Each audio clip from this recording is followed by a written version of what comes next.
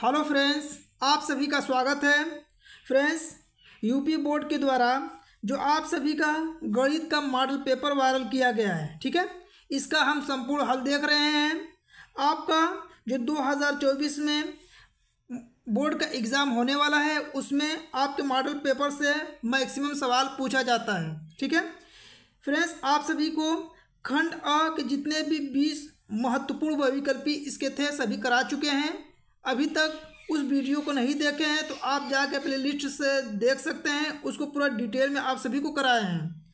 आज हम model paper का जो खंड ब है, ठीक है, जहाँ से आपके बोर्ड के एग्ज़ाम में पचास नंबर का प्रश्न आता है, इस भाग को आज हम करने वाले हैं, ठीक है? तो चलिए फ्रेंड्स वीडियो स्टार्ट करते हैं। तो फ्रेंड्स आपको ये वीडियो पसंद आए तो वीडियो को लाइक करें और साथ में चैनल पर नए तो चैनल को सब्सक्राइब कर लें, ठीक है? देखिए फ्रेंड्स, ये जितने भी प्रश्न हैं, सभी प्रश्न आपको करा चुके हैं ना? अभी तक आप नहीं देखे होंगे तो आप जाके प्लेलिस्ट से उस वीडियो को देख सकते हैं। आज हम खंड बा के सभी जितने भी वायरल प्रश्न हैं, इसका पूरा डिटेल से हल करने वाले हैं। देखिए यह है आपका खंड ब खंड ब में आपका पहला सवाल है कि सभी खंड आपको करना है, जिसके सामने आपका पहला नंबर का, देखिए, क वाला सवाल है जो आपका दो नंबर का है। यहाँ पे देखिए आपका सवाल है कि स्पष्ट कीजिए कि तीन गुड़े पाँच गुड़े सात प्लस सात एक अभाज्य एक भाज्य संख्या क्यों है? देखिए, इस सवाल को आप कैसे लगाएँगे, ठीक है? ध्यान देंगे तो आप बहुत सिंपल तरीका से इस सवाल को लगा सकते हैं। चलिए देखिए, यहाँ पे हल करते हैं। देखिए, यहाँ पे जो सवाल है, आप हल करेंगे बोर्ड के एग्ज़ाम में कैसे? देखिए, इस प्रकार लिखिएगा हल, और यहाँ पे तीन गुड़े पाँच गुड़े सात प्लस सात, ठीक है? देखिए, यहाँ पे पूरा ये एक पद है, ये अगला पद है। तो इसमें देखिए, यहाँ भी सात है और यहाँ पे यानी दोनों में सात का कामन है तो यहाँ से सात कामन ले सकते तो यहाँ क्या बचेगा? तीन गुड़े पाँच और यहाँ पे सात निकल गया तो एक बचेगा, ठीक है? तो यहाँ से आप देखेंगे तो सात इसका क्या है? कामन है ना इसका मतलब ये पूरी जो संख्या सात से क्या है? विभाज्य है। और यहाँ पे पूछ रहा है कि ये जो है भाज्य संख्या क्यों है? तो लिखेंगे कि तीन गुड़े देखिए आंसर में इस प्रकार से लिखेंगे, ठीक इस प्रकार से दिखा दें, यहाँ पे लिखेंगे तीन गुड़े पाँच गुड़े सात प्लस सात, एक भाज्य संख्या है। एक भाज्य संख्या है, क्योंकि क्यों कि ठीक है, यहाँ पे लिखेंगे, क्योंकि इसका सात एक अभाज्य गुणनखंड है। अभाज्य गुणनखंड खंड है, जो पूरी संख्या संख्या को सात से विभाजित करता है। विभाजित करता है। ठीक है? इस प्रकार से लिखेंगे तो आपको एग्जामिनर इस पर क्या करेगा? देखिए, दो नंबर का प्रश्न है ना तो इस पर दो नंबर आपको पूरा देगा। एक नंबर भी नहीं काटेगा, तुरंत देखेगा, दो नंबर दे के आगे बढ़ जाएगा। तो जैसे सवाल आपको बताने वाले हैं, इसका संपूर्ण हल देखिएगा, ठीक है? देखिए, क का जो आपको हल करना था, इस प्रकार से करना था। अब देखिए, आपका ख का जो प्रश्न है, इसको कैसे आपको हल करना है, ठीक है? देखिए, यहाँ पे ख है ना तो यहाँ पे ख वाला प्रश्न देखिए कैसे हल कर रहे हैं। और इसी तरह बोर्ड के एग्ज़ाम में आपको सेम टू सेम इसी तरह हल कीजिएगा। देखिए यहाँ काट देखिए यहाँ पर क्या लिखा है? काट थीटा बराबर सात बटा के आठ लिखा है। यहाँ पे दिया है आपको कि वन प्लस साइन थीटा अगले question one minus sine theta कोष्टक बंद अपान, ठीक है? वन प्लस क्या है? कास ना? यहाँ पे वन प्लस लिखेंगे कास थीटा कोष्टक बंद हो गया। कोष्टक में वन माइनस कास थीटा ठीक है? अब देखिए यहाँ पे क्या करेंगे आप? यहाँ पे ध्यान दीजिएगा। इसमें आपका जो प्रयोग हो रहा है, कौन सा फार्मूला है? तो देखिए, ये है one plus sine theta one minus sine theta तो यहाँ पे जो फार्मूला प्रयोग होगा, उसको आप साथ में लिखते रहिएगा, ठीक है? देखिए यहाँ पे यहाँ पे देखिए फार्मूला को साथ में लिखते रहिएगा। देखिए, कैसे लिखेंगे? यहाँ पे आप बगल में लिख सकते हैं कि देखिए, आपको ये फार्मूला पता होगा कि एक क्वेश्चन ए प्लस बी हो और अगले क्वेश्चन ए माइनस बी हो। इसे आप क्या लिख सकते हैं? इसे लिख सकते हैं a square minus b square ठीक है? ये फार्मूला है ना, इसी फार्मूला पे इसको लगाना है। देखिए कैसे लगेगा ये। देखिए, एक क्वेश्चन ए प्लस बी और एक क्वेश्चन ए माइनस बी है तो यानी a square minus b square होगा तो ए की जगह क्या है? एक है तो एक का स्क्वायर माइनस बी की जगह क्या है? साइन थीटा है तो साइन थीटा का स्क्वायर कर लेंगे, अपान। और नीचे भी देखिए वन प्लस कास्ट थीटा है वन माइनस कास्ट थीटा है तो इसको क्या लिख सकते हैं? एक का स्क्वायर करेंगे एक, और माइनस क्या हो जाएगा? कास स्क्वायर थीटा हो जाएगा, ठीक है? इतना करने के बाद देखिए आपको क्या करना है? एक का स्क्वायर करेंगे, एक होगा माइनस साइन स्क्वायर, थीटा है तो साइन स्क्वायर थीटा लिखिए, अपान, एक का स्क्वायर एक माइनस कास क्या है तो कास स्क्वायर थीटा करेंगे। अब देखिए यहाँ फार्मूला प्रयोग है चूँकि, आपको पता है कि one minus sine square theta बराबर क्या होता है, कास स्क्वायर थीटा होता है, और one minus cos square theta लिखा रहेगा तो इसका फार्मूला होता है साइन स्क्वायर थीटा, ठीक है? अब देखिए इसको यहाँ पे क्या करेंगे आप one minus sine square theta की जब क्या लिख सकते हैं? कास स्क्वायर ना? यहाँ पे लिखिएगा, cos square theta, one minus cos को क्या लिख सकते हैं? Sine square theta, upon. देखिए, इस पर भी स्क्वायर, इस पर भी स्क्वायर है तो इसे क्या लिख सकते हैं? Cos theta upon sine theta लिख सकते हैं। स्क्वायर तो इसके होल क्वेश्चन बना के यहाँ पे स्क्वायर कर लीजिए, ठीक है? अब देखिए, cos theta upon sine theta क्या लिख सकते हैं? देखिए, जितने भी फार्मूला प्रयोग होगा, बगल में आप लिख, लिखना पड़ता है बोर्ड के एग्ज़ाम में। तो चूँकि लिखिएगा, cos theta upon sine theta यदि लिखा है तो उसे आप डायरेक्ट क्या लिख सकते हैं? काट थीटा लिख सकते हैं, ठीक है? तो यहाँ पे बस मान रख लीजिए। देखिए cos theta upon sine theta का जब क्या लिखेंगे? काट थीटा स्क्वायर तो स्क्वायर बना लीजिए। अब देखिए, यहाँ पे काट थीटा का मान आपका कितना है? सवाल में खुद दिया था काट थीटा बराबर सात बटा के आठ है तो यहाँ पे कितना रखेंगे? सात बटा के आठ रख लीजिए। यहाँ पे रखेंगे सात बटा के आठ, यहाँ पे स्क्वायर है तो स्क्वायर कर लीजिए। देखिए, सात के स्क्वायर करेंगे सात सतह उनचास होगा। आठ के स्क्वायर करेंगे अट्ठा, चौंसठ हो जाएगा। ठीक है, यही क्या हो जाएगा आपका? आंसर हो जाएगा, ठीक है? तो जैसे बता रहे, इसी तरह बोर्ड के एग्ज़ाम में सिंपल तरीका से आपको हल करना रहेगा और जितने भी प्रश्न आपके मॉडल पेपर के हैं, सभी प्रश्नों को आपको हल कराएँगे। आप सभी प्रश्नों को हल करके ज़रूर जाइएगा, मॉडल पेपर से, में से आपके बोर्ड के एग्ज़ाम में मैक्सिमम क्वेश्चन पूछता है फ्रेंड्स, ठीक है? चलिए अब अगले नंबर के सवाल को देखते हैं। देखिए आपका अगला नंबर का सवाल क्या है? यहाँ पे ध्यान दीजिएगा, देखिए यहाँ पे तीसरा नंबर का ग वाला। यहाँ पे है कि दो घनों, जिनमें से प्रत्येक का आयतन कितना? चौसठ सेंटीमीटर क्यूब है, ठीक है? सगलन फल, फलकों को मिलाकर एक ठोस बनाया जाता है। इससे प्राप्त घनाभ का पृष्ठीय क्षेत्रफल ज्ञात कीजिए। देखिए, इस सवाल को आप कैसे लगाएँगे, ठीक है? बस आप देखते रहिए, बहुत सिंपल तरीका से आपको सिखाने वाले हैं। देखिए यहाँ पे। यहाँ पे क्या करेंगे? देखिए, दो घन है ना तो पहले देखिए आपको समझाते हैं कि दो घन है तो कैसे करेंगे? देखिए, दो घन बना लीजिए। देखिए, आपको पूरा डिटेल में समझाते हैं। देखिए, ये आपका क्या है? एक घन है। इस तरह आप बना सकते हैं घन। इस तरह क्या है? ये घन है। और एक घन और है। इस तरह एक घन और है। ठीक है? बराबर आयतन दिया है तो एक घन और ले लीजिए इस तरह। ये हो गया। ठीक है? इसका भी आयतन चौसठ दिया है, इसका भी आयतन चौसठ दिया है। फिर कह रहा है कि संलग्न फलकों को मिलाकर एक ठोस बनाया जाता है। यानी कि इन दोनों को क्या कर रहा है कि आपस में जो इसका संलग्न भुजा आपस में जोड़ दिया जा रहा है। और इसको जोड़ा जब जा रहा है तो क्या बन रहा है? देखिए, आपका ये बनेगा, घनाभ बनेगा। ये क्या होगा आपका? इस तरह से घनाभ बन जाएगा। इस तरह क्या बनेगा? घनाभ बन जाएगा ठीक है? तो कह रहा है जो ये घनाभ बन रहा है इसका क्या करना है? पृष्ठीय क्षेत्रफल निकाल आ, इसके प्राप्त घनाभ का पृष्ठीय क्षेत्रफल ज्ञात करना है आपको। देखिए पहले आप क्या करते हैं कि इस घना घन का क्या करते हैं? आयतन निकालते हैं। दोनों घन क्या है? आपस में बराबर है और दोनों का आयतन क्या है? बराबर है। तो देखिए घन का आयतन का फार्मूला क्या होता है? चलिए इसके घन की जो भूजा है मान लेते ए है ठीक है? ये भी ए होगा तो ये भी ए होगा ठीक है? दोनों घन का ये होगा। तो यहाँ पे आपका घन का आयतन का फार्मूला देखिए क्या घन का आयतन आयतन बराबर फार्मूला होता है ए पे तीन घात। ए पे तीन घात मतलब भुजा पे तीन घात होता है। घन का आयतन कितना दिया है? चौंसठ दिया तो यहाँ चौंसठ रखेंगे, यहाँ पे ए पे तीन घात होगा। यहाँ पे घन हटाने के लिए क्या करेंगे? दोनों पक्षों का, यहाँ पे लिखेंगे दोनों पक्षों का पक्षों का घनमूल घनमूल लेने चलिए घनमूल निकाल दीजिए। देखिए, घनमूल का चिन्ह ये होता है, यहाँ पे तीन रहेगा, यहाँ चौंसठ हो जाएगा। यहाँ पे घनमूल का तीन हो जाएगा, यहाँ पे कितना हो जाएगा? ए पे तीन घात हो जाएगा, ठीक है? देखिए, चौंसठ का घनमूल आप सभी को पता होगा कितना होता है। नहीं समझ में आता देखिए, आप बता दें, पूरा विस्तार से बता बता देते हैं। चौंसठ का इस तरह विस्तार कीजिएगा, ठीक है? पूरा विस्तार से समझिए, एकदम डिटेल से। देखिए, दो से कटाएँगे, दो तीन छः दो दूना के चार, सोलह बार में कटेगा, आठ बार में कटेगा, ये चार ये दो और ये दो से एक बार में। यानी कितना हुआ? देखिए यहाँ पे। दो गुड़े दो गुड़े दो गुड़े दो गुड़े पूरा विस्तार से एकदम समझिए फ्रेंड्स। ठीक है, यहाँ पे तीन है तो तीन कर लीजिए। यहाँ पे देखिए तीन है। ए पे तीन घात का मतलब हुआ, एक गुड़े एक गुड़े एक कर सकते हैं।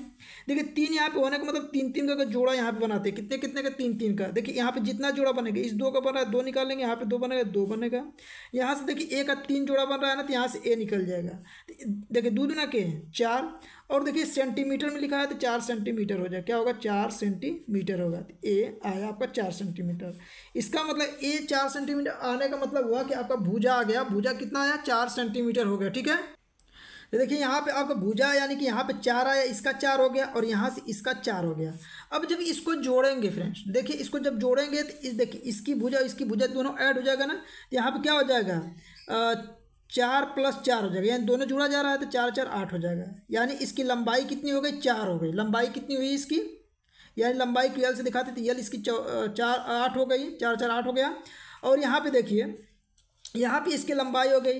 ये देखिए, चौड़ाई कितना रहेगा तो चौड़ाई देखिए यही है आपका चौड़ाई बराबर होगा तो ये चार होगा, चौड़ाई चार होगा और इसकी ऊंचाई कितना होगा? यच का मान। यच का मान भी आपका चार होगा। इसलिए कि सिर्फ़ आपका इसका जो ये आधार ये जुड़ रहा है ना, ये लंबाई चौड़ाई उतना ही रहेगा जितना इसका है। तो देखिए यहाँ पे लंबाई चौड़ाई का मतलब कि जैसे ए बराबर चार हुआ तो आपको घन का सभी भुजाएँ जैसे ये, देखिए ये भी चार होता है, ये भी। यानी कि इसके घन का सभी भुजाएँ क्या होती है? आपस में बराबर होती है। तो आप सभी को पता होगा लंबाई कितना हो जाएगा? आठ, चौड़ाई चार और ये अब यहाँ पे क्या कह रहा है? देखिए सवाल में कि घनाभ का पृष्ठीय क्षेत्रफल ज्ञात करने के लिए कह रहा था। देखिए घनाभ का पृष्ठीय क्षेत्रफल या संपूर्ण पृष्ठीय क्षेत्रफल क्या होता है? ठीक है? देखिए यहाँ पे। चलिए यहीं पे लगा देते हैं। देखिए, यहाँ पे क्या करेंगे? देखिए यहाँ पे। यहाँ पे लगाएँगे घनाभ घनाभ का पृष्ठी पृष्ठी क्षेत्रफल क्षेत्रफल। ठीक है? देखिए, फार्मूला क्या होता है? चलिए यहाँ पे लिख देते हैं। इसका फार्मूला होता है दो कोष्ट में l b plus b h plus h l इसका मतलब वो लंबाई गुड़े चौड़ाई प्लस चौड़ाई गुड़े ऊंचाई प्लस ऊंचाई गुड़े लंबाई। ये होता है। अब यहाँ पे मान रख के हल कर लीजिए। देखिए, दो कोष्ट में यल का मान कितना है आपका यल का मान आठ है तो आठ करेंगे। बी का मान कितना है? चार है तो चार कर लीजिए प्लस बी का मान यहाँ पे कितना है? चार है। यच का मान कितना है? चार है तो चार कर लीजिए। यच का मान चार है और यल का मान कितना है आपका? यल का मान आठ है तो आठ कर लीजिए, ठीक है? देखिए यहाँ पे। दो गुड़ी आठ चौक को बत्तीस, चार चौक को सोलह, आठ चौक को बत्तीस। अब सबको आपस में जोड़ लीजिए। तो देखिए यहाँ पे कितना होगा? दो गुड़े बत्तीस बत्तीस, चौंसठ होगा। और चौंसठ में सोलह जोड़ेंगे तो आप अस्सी हो जाएगा। कितना होगा? अस्सी। ठीक है, यहाँ पे गुड़ा का चिन्ह, जब क्वेश्चन के बार कोई चिन्ह नहीं रहता तो गुड़ा का बना लेते हैं। अब गुड़ा कर लीजिए, दो आठ सोलह। एक सौ साठ क्षेत्रफल निकला है तो सेंटीमीटर तो सेंटीमीटर पे क्या हो जाएगा? स्क्वायर हो जाएगा। और जो ये आ रहा है आपका, यही क्या होगा? आपका आंसर होगा। तो ये आपका क्या हो गया? आंसर हो गया। इस प्रकार से आपको हल करना था इस सवाल को। संपूर्ण पृष्ठीय क्षेत्रफल निकाल चुके हैं। जैसे सवाल बताए इसी तरह आपको बोर्ड के एग्ज़ाम में पूरा डिटेल से लगाना रहेगा, ठीक है? तभी जाके आपको दो नंबर इस प्रश्न पर मिलने वाला है, ठीक है? अब चलिए अगले नंबर के सवाल को देखते हैं कि आप, अगला नंबर का सवाल क्या है? तो देखिए, यहाँ पे ग वाला हल हो गया ना? अब चलिए अगले नंबर के प्रश्न को देखते हैं। चलिए देखते हैं पूरा। पूरा डिटेल में हल कीजिए, ठीक है? देखिए आपका। ये आपका अगला नंबर का देखिए प्रश्न क्या है, इसको कैसे आपको हल करना है? देखिए यहाँ पे। अब देखिए, यहाँ पे क्या कह रहा है कि इस सवाल में माध्य निकालने के लिए कह रहा है। तो पहले तो इसको लिखेंगे, देखिए, घ वाला कैसे हल करेंगे यहाँ पे? यहाँ पे पहले लिखिए वर्ग, अंतराल है ना तो यहाँ पे लिखिए वर्ग, अंतराल। वर्ग, अंतराल हो गया, फिर बारंबारता दिए तो बारंबारता लिख लीजिए। बारंबारता। बारंबारता को किससे दिखाते हैं? तो यफ से दिखाते हैं तो बगल में यफ लिख सकते हैं। अब देखिए, इतना करने के बाद पहले इसको लिख लेते हैं। पहले इसको लिखते हैं, फिर इसके बाद समझाते हैं आपको क्या करना है सवाल में। देखिए, कितना दिया? दस से बीस दिया है और बीस से तीस दिया है। ठीक है, तीस से चालीस चालीस से पचास पचास से साठ, ठीक है, पचास से साठ हुआ और साठ से सत्तर, पचास से साठ और साठ से सत्तर। पहले सवाल को लिख लेते हैं, ठीक है? इतना हो गया। बारम्बार तो देख लीजिए कितना दिया है। दो दिया है, फिर इसके बाद सात दिया है, फिर इसके बाद बारह दिया है, फिर इसके बाद पंद्रह दिया है, फिर इसके बाद आठ दिया है, फिर इसके बाद छः दिया है, ठीक है? इतना कर लीजिए। करने के बाद देखिए, इसमें माध्य ज्ञात करना है ना? देखिए, आप माध्य ज्ञात करना है तो इसमें देखिए आपको पता होना चाहिए। क्या पता होना चाहिए? पहले इसका मध्य पद, ठीक है? मध्य पद। मध्य पद। ठीक है? अब देखिए, मध्य पद निकलता कैसे है? तो मध्य पद को यक्स से दिखाते हैं। यक्स बराबर होता है l one plus l two बटा के दो होता है। ये होता है। ठीक? इसके बाद क्या करते हैं? अगले पद में यफ गुड़े एक्स होता है। यफ गुड़े एक्स यानी यहाँ पे जो बारंबारता है, जो मध्य पद है, उनका क्या करेंगे? गुड़ा करेंगे। ठीक है? अब देखिए, मध्य पद निकलता कैसे? एक निकालेंगे और सब बता देंगे आपको। देखिए, यहाँ पे मध्य पद, ये होता है आपका, इधर का मान यल वन होता है, इधर का मान यल टू होता है। यल वन देखिए, दस प्लस बीस बटा के दो करेंगे तो कितना हो जाएगा? तीस और तीस बटा के दो। कितना हो जाएगा? पंद्रह हो जाएगा। कितना होगा? पंद्रह। अब देखिए, एक निकाल लेंगे ना तो अब एक निकालने के बाद देखिए आपको क्या करना रहता है। देखिए, दस में बीस बीस में बीस और दस के बीच में कितना का अंतर है? दस का। बीस और तीस के बीच में? दस का। तीस, चालीस के बीच दस। यानी जो यहाँ पे वर्ग अंतराल दिया है, दस दस का अंतर है। तो जो यहाँ पे मान दिया रहेगा, उसमें सिर्फ़ दस दस आप जोड़ते चले जाइएगा। देखिए, पंद्रह हुआ, पंद्रह में दस जोड़ेंगे तो कितना हो जाएगा? पच्चीस पच्चीस में दस जोड़िए। पैंतीस पैंतीस में दस जोड़िए। पैंतालीस पैंतालीस में दस जोड़िए। पचपन, और पचपन में दस जोड़िए पैंसठ। ठीक है? इस प्रकार से कर लीजिएगा। अब देखिए यफ गुड़े एक्स क्या करना रहता है? यफ गुड़े यक्स में देखिए, ध्यान दीजिएगा। यफ गुड़े यक्स का मतलब यफ का मान यहाँ पे दो है। यक्स का मान कितना है? पंद्रह। अब इसका दोनों का आपस में गुड़ा कर लीजिए तो पंद्रह दुना के तीस। ठीक है? इस प्रकार से आपको करना रहेगा पूरा। ठीक है? देखिए, ध्यान से। देखिए, अब सात के गुड़ा पच्चीस में करना था, यानी लिखेंगे सात गुड़े पच्चीस बराबर। देखिए, पंद्रह सात कितना होता है? एक सौ पचहत्तर तो यहाँ लिखेंगे एक सौ पचहत्तर, लिख लीजिएगा।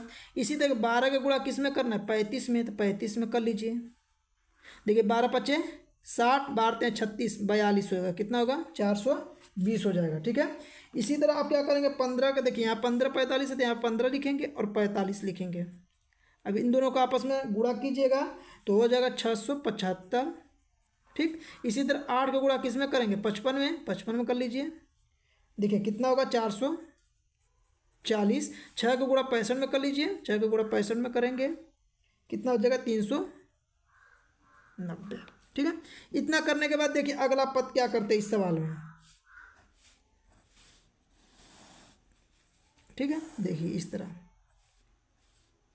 अब यहाँ पे क्या करते हैं कि सिग्मा एफ़ एक्स निकालते क्या निकालते हैं? सिग्मा एफ़ एक्स मतलब तीस, एक सौ पचहत्तर, चार सौ बीस छः सौ पचहत्तर, चार सौ चालीस, तीन सौ नब्बे आपस में जोड़ना है। जोड़ के यहाँ पे लिखेंगे तो देखिए, सब आपस में जोड़ देंगे, पाँच पाँच, दस हो जाएगा, यानी कि ज़ीरो। यानी कुल मिला जब जोड़ेंगे तो इक्कीस हज़ार तीन सौ मतलब इक्कीस तीस आएगा कितना आएगा दो हज़ार एक सौ तीस। इसको जोड़ लीजिएगा, ठीक है? तो देखिए, हो गया इतना।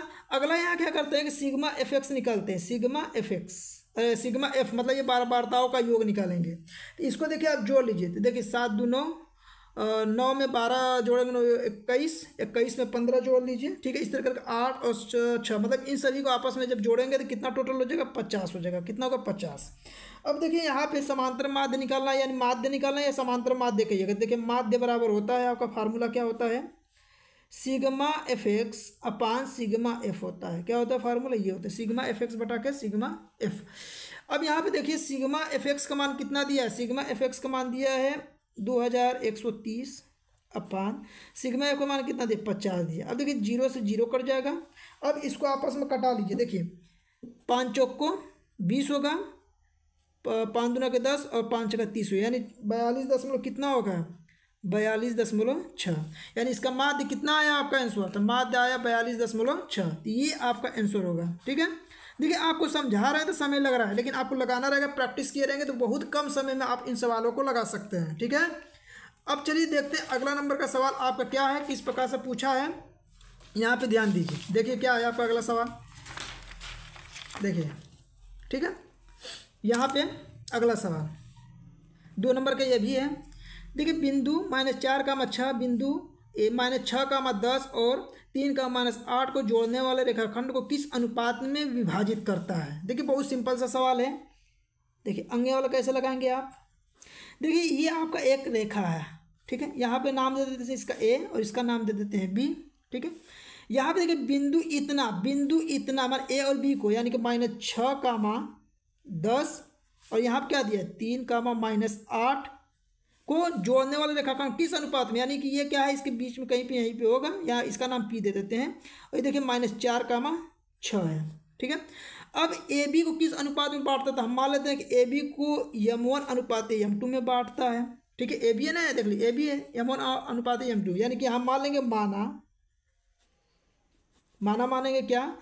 कि क्या है? रेखाखंड रेखा खंड को यम वन अनुपात यम टू में बांटता है। ठीक है, इस तरह कर लेंगे। अब देखिए, इस सवाल को लगाएँगे कैसे? अब यहाँ पे रेखाखंड का अंत विभाजन का फार्मूला लिखेंगे। रेखा खंड का अंत विभाजन अंत विभाजन। भाजन ठीक? अब देखिए, यहाँ पे फार्मूला इसका होता है कि यक्स कामा वाई बराबर फार्मूला होता है m one x two plus m two x one upon m one plus m two. ठीक है कामा रहेगा।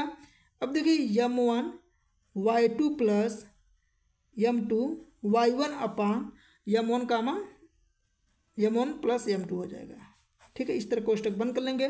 इस फा, पूरे फार्मूला को यहाँ पे आप देख लीजिए एक बार। ठीक है फिर इसके बाद इस सवाल को लगाते हैं। फार्मूला देख लिया आप। अब देखिए, यहाँ पे कर लीजिए यहाँ पे देखिए आप क्या करना है, यहाँ पे मान लेना, देखिए ये एक्स वन मान लीजिएगा, ये वाई वन मान लीजिएगा, ये एक्स टू एक्स मानिएगा ये वाई मानिएगा, ये एक्स टू मानिएगा, ये वाई टू मान लीजिएगा। और यहाँ पे सिर्फ़ मान रख लीजिए। देखिए, यहाँ पे मान रखेंगे तो चलिए यहाँ से लिखना स्टार्ट करते हैं। एक्स वाई का मान कितना है? माइनस चार का मान छः है। रख लीजिए। यहाँ से देखिए यम वन का मान यम वन है, गुड़े। यक्स टू का मान कितना है? तीन है तो तीन करेंगे। प्लस एम टू का मान एम टू है यक्स वन का मान कितना है? माइनस छः है तो माइनस छः कर लीजिए। Upon m one plus m two, m one plus m two, comma. ठीक है, इस तरह कोष्टक बंद कर लीजिए। यम वन का मान यम वन गुड़े वाई टू का मान, देखिए माइनस आठ है तो माइनस आठ रखेंगे। प्लस एम टू का मान एम टू है गुड़े वाई वन का मान कितना है? दस है तो दस कर लीजिए, अपान। ठीक है m one plus m two, कोष्टक बंद कर लीजिए। ठीक है, हो गया इतना। अब देखिए क्या करेंगे। देखिए, माइनस चार का मत छः। देखिए, यहाँ गुड़ा करेंगे तो तीन एम वन होगा। यहाँ गुड़ा करेंगे एम टू का तो माइनस छः, एम टू हो जाएगा upon. M one plus m two, comma. गुड़ा करेंगे माइनस आठ, एम वन होगा। और ये कितना प्लस दस, एम टू हो जाएगा। Upon m one m two कोष्टक one ठीक है? अब देखिए, यहाँ पे जो दिया है, ये यक्स का मान है और ये वाई का मान। तो ये जो हल किए हैं तो ये यक्स का मान होता है, ये वाई का मान होता है। तो यहाँ से क्या करेंगे? तुलना कर देंगे। यक्स का, यक्स के साथ में वाई का वाई में। तो किसी एक को ही तुलना कीजिएगा, आपका अनुपात निकल जाएगा। तो चलिए, हम यक्स वाला का देखिए, जैसे ये यक्स का मान है तो यहाँ से यक्स का मान ये है ना इससे तुलना कर लेते हैं। जब तुलना करेंगे तो बस यहाँ पर रखिए क्या? माइनस चार। किसके बराबर होगा? तीन। एम वन माइनस छः m two upon. M one plus m two ठीक है? इसको हल करके एम वन और एम टू का अनुपात ज्ञात करें, कर लेंगे। और आपकी इच्छा करेंगे तो इससे वाई का वाई से तुलना करके भी निकालेंगे तो उतना ही आंसर आएगा ना? आंसर में आपका गड़बड़ी नहीं होगा, ठीक है? चलिए देखिए, आप करेंगे तो देखिए, तीन गुड़ा कर लेंगे, चार का इधर गुड़ा करेंगे, देखिए कैसे के चार गुड़े एम वन एम टू करेंगे, और इधर क्या बचेगा? तीन एम वन माइनस छः एम टू बचेगा। ठीक? अब देखिए गुणा करेंगे तो चार माइनस चार एम वन हो जाएगा, और इसका गुणा करेंगे तो माइनस चार एम टू हो जाएगा। इधर, तीन एम वन माइनस छः एम टू अब पच्छानदे कर लीजिए एम वन को एक साइड और एम टू को एक साइड कर लीजिए। तो देखिए ये माइनस चार एम वन है, इसको पच्छांतर करेंगे तो माइनस तीन एम वन हो जाएगा। ये माइनस छः एम टू है, इसको पच्छांतर तो प्लस कितना हो जाएगा चार एम टू हो जाएगा। देखिए ये क्या होगा आपस में, ये इस तरह बराबर का चिन्ह इस तरफ़ देते रहिएगा, ठीक है? इस तरह देते रहिएगा।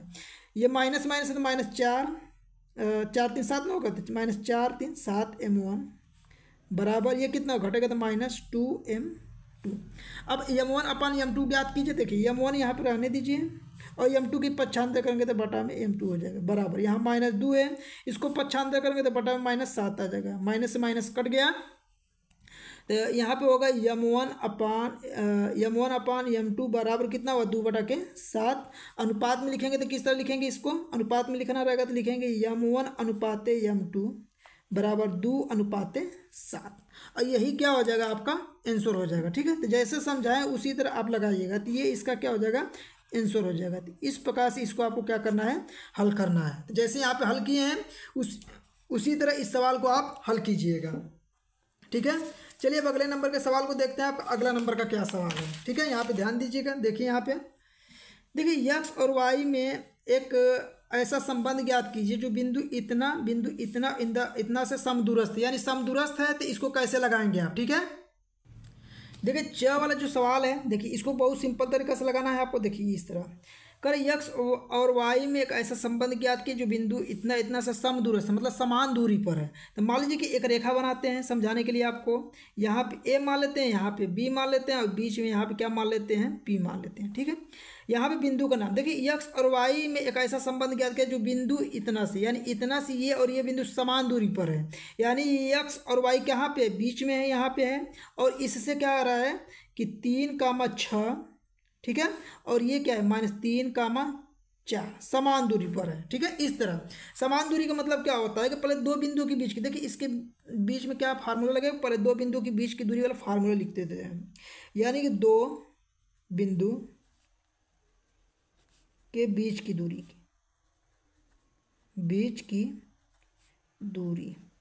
फार्मूला आपका होता है करड़ी में x one minus x two का whole square plus y one minus y two का होल स्क्वायर। इसी पे लगेगा। अब इस सवाल में जो कहा है, समा, समदूरस्थ है मतलब समान दूरी पर है। इसका मतलब हुआ कि ए पी के बीच की दूरी ए पी के बीच की दूरी दूरी बराबर होगा पी बी के बीच की दूरी पी बी के बीच की दूरी। दूरी। ठीक है? हो गया इतना? अब यहाँ पर क्या करें? बस मान रख लें। देखिए, ये इसको मान लेते हैं यक्स वन, इसको मान लेते हैं वाई वन, इसको मानते हैं यक्स टू इसको मानते हैं वाई टू इसको मानते हैं यक्स थ्री इसको मानते हैं वाई थ्री क्रम से बस रखते चले जाएँगे। ठीक है? ये मानने के ऊपर जैसे आपकी इच्छा करें वैसे मान सकते हैं। अब देखिए, इस सवाल को ऐसे लगाएँगे दो बिंदु के बीच की दूरी, ये फार्मूला है। यहाँ पे करड़ी में क्या होगा? देखिए x one minus x two यानी कि इसमें से इसको घटाएँगे। यानी तीन माइनस एक्स का होल स्क्वायर प्लस छः माइनस वाई का होल स्क्वायर हो जाएगा, बराबर, अंडर रूट में। देखिए, इसमें से इसको क्रम से घटाए तो इसी तरह यक्स में से इसको घटाएँगे तो यहाँ पे होगा यक्स माइनस। देखिए, यहाँ पे पहले से माइनस देखिए, फार्मूला में माइनस होता है, ये पहले से माइनस है तो माइनस माइनस क्या करेगा, इसको प्लस कर देगा, यहाँ पे तीन का होल स्क्वायर हो जाएगा। प्लस, यहाँ पे वाई वन की जगह पे वाई है, और माइनस वाई टू की जगह पे चार है तो चार का होल स्क्वायर कर लीजिए, ठीक है? अब देखिए, इसी को बस आपको हल करना है। अब क्या करेंगे? पहले यहाँ से क्या करेंगे? कड़ी हटाने का प्रयास करेंगे। जब कड़ी कैसे हटेगा? लिखेंगे दोनों पक्षों का वर्क करने में। दोनों पक्षों का वर्ग करने पर। ठीक है? लिख लिए। जब लिख लिए तो देखिए, यहाँ पे क्या करेंगे? लिख लिए। तीन माइनस एक्स का होल स्क्वायर, यानी कैपिटल एक्स है तो कैपिटल एक्स रहने दीजिए, प्लस छः माइनस कैपिटल वाई का होल स्क्वायर यहाँ पे स्क्वायर करना स्क्वायर कर लीजिए, ठीक है? बराबर। करड़ी में। देखिए वर्क करने पे तो वर्क कर लीजिए। कैपिटल एक्स प्लस तीन का whole square plus capital y minus चार का होल स्क्वायर ठीक है? यहाँ पे स्क्वायर कर लीजिए। हो गया? अब चलिए देखते हैं। देखिए, जब जैसे ही यहाँ पे वर्क करते थे करड़ी हट जाता तो यहाँ पे हो जाएगा तीन माइनस कैपिटल यक्स का होल स्क्वायर करेंगे प्लस छः माइनस कैपिटल वाई का होल स्क्वायर बराबर। कैपिटल एक्स प्लस तीन का whole square plus y minus capital चार का होल स्क्वायर हो जाएगा। अब देखिए ए माइनस बी का होल स्क्वायर वाले फार्मूला पे विस्तार कर लेंगे, ठीक है?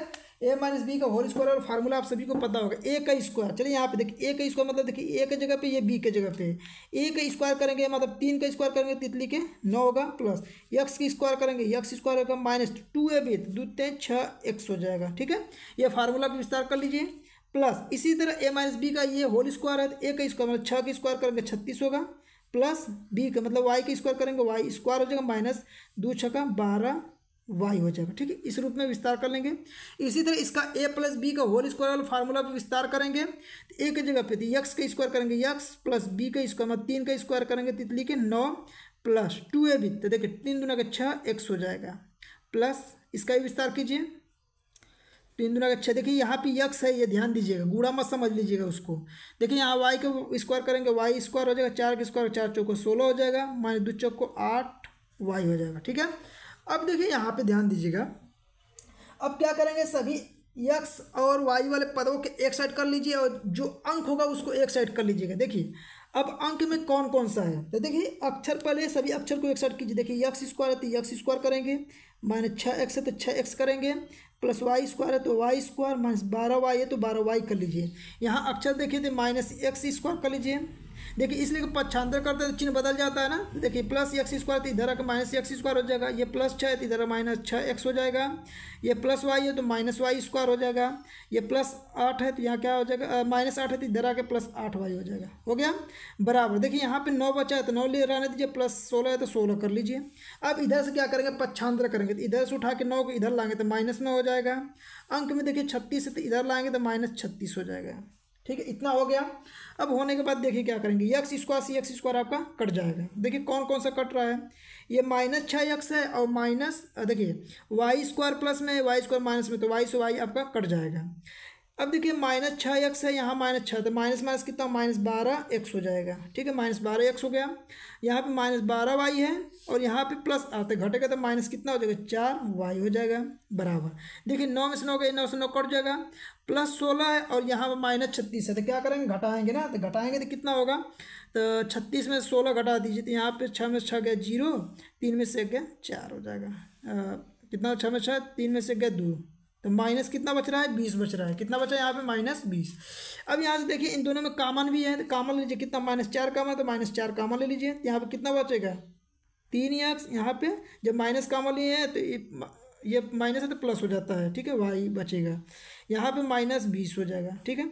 यहाँ पे देखिए, तीन एक्स प्लस वाई बराबर, माइनस बीस, चार गुणा में पच्छानते करेंगे तो माइनस चार हो जाएगा। देखिए, माइनस से माइनस कट गया, चार कम चार पचे बीस हो गया। अब यहाँ पे देखिए तीन एक्स प्लस वाई बराबर यहाँ पे कितना हो जाए? पाँच है। पच्छानता कर लीजिए इस सेट। यहाँ पे कितना होगा आपका? तीन एक्स प्लस वाई, ये पाँच इधर तो माइनस इधर आके माइनस पाँच बराबर ज़ीरो। ठीक है? तो देखिए, ये यक्स और वाई में संबंध पूछा था तो यक्स और वाई में संबंध ये आपका आ गया। ठीक है? इस तरह से इसका आंसर आपको ज्ञात करना था। जैसे समझाएँ, इसी प्रकार से डिटेल में आप पूरा बोर्ड के एग्ज़ाम में आपको लगाना रहता है। ठीक है? तो यहाँ पे आपको समझ में आएगा कैसे आपको लगाना है। देख लीजिए। तो देखिए यहाँ पे आप सभी को जो खंड ब था, देखिए यहाँ पे ध्यान दीजिएगा खंड। देखिए खंड ब। खंड ब, ठीक है, ये खंड ब है। खंड ब का आपका जो दूसरा नंबर पहला नंबर खंड ब में पहला नंबर का सवाल जितने भी आपके सवाल थे सभी हल करा दिए हैं। अब देखिए आपका जो प्रश्न नंबर दो है, जितने भी इसके खंड, प्रश्न दिया है खंड में, आप सभी को नेक्स्ट वीडियो में कराएँगे। क्योंकि ये बहुत ज़्यादा लंबा वीडियो हो जाएगा। तो आपको लंबा वीडियो ना है, इसलिए आप क्या करते हैं कि इसका जो दूसरा वाला पार्ट है, इसको हम नेक्स्ट वीडियो में आप सभी को कुछ समय के बाद अपलोड कर देंगे। उसे भी आप देख के इन प्रश्नों को आप ज़रूर तैयार कर लीजिएगा। जितना भी मॉडल पेपर यूपी बोर्ड के द्वारा तैयार जारी किया गया है, वो सभी मॉडल पेपर को आप देख के ज़रूर बोर्ड के एग्ज़ाम में जाइएगा, ठीक है? आपके बोर्ड के एग्ज़ाम में मैक्सिमम से मैक्सिमम सवाल रिपीट होते हैं तो उन क्वेश्चनों को आप ज़रूर पढ़ लीजिएगा, ठीक है? तो फ्रेंड्स, आपको ये वीडियो पसंद आए तो वीडियो को लाइक करें, चैनल पर नए हैं तो चैनल को सब्सक्राइब करें और अपने दोस्तों के पास अधिक से अधिक वीडियो को शेयर करें।